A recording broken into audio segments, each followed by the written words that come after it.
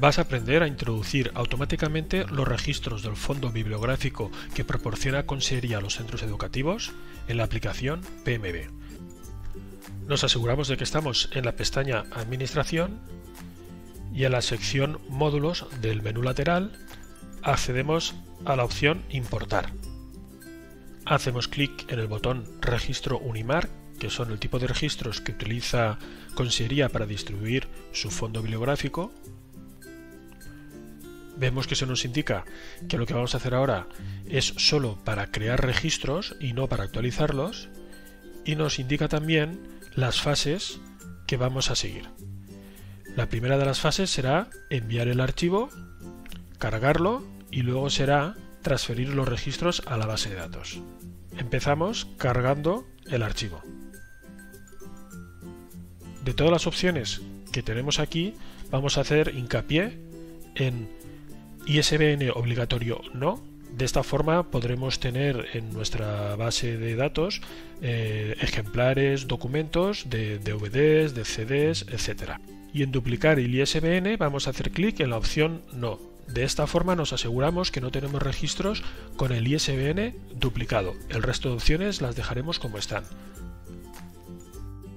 Hacemos clic en examinar y vamos a buscar los archivos que guardan el fondo bibliográfico que nos proporciona Consellería.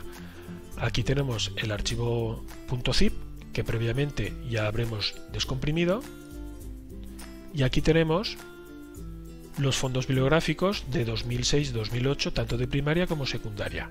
Vamos a coger bien la última opción, primaria 2008 o secundaria 2008. Hacemos clic y luego pulsamos abrir nos aseguramos que tenemos aquí el nombre del archivo y hacemos clic en siguiente.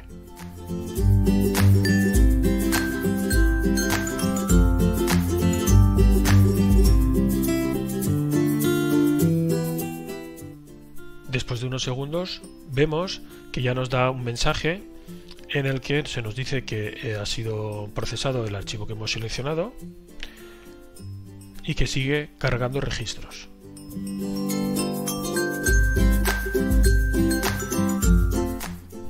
De unos minutos vemos que ya se han procesado todos los registros y nos indican los errores que ha encontrado. Simplemente nos está diciendo que se ha creado un registro con el ISBN vacío. Esto no se trata de un error, sino que realmente nos está informando que uno de los registros no tenía este campo. Y con esto hemos terminado el proceso de alta automática de los registros del fondo bibliográfico que proporciona Cosería a los centros educativos en la aplicación PMB. Este es un vídeo de Román Carceller, profesor de informática.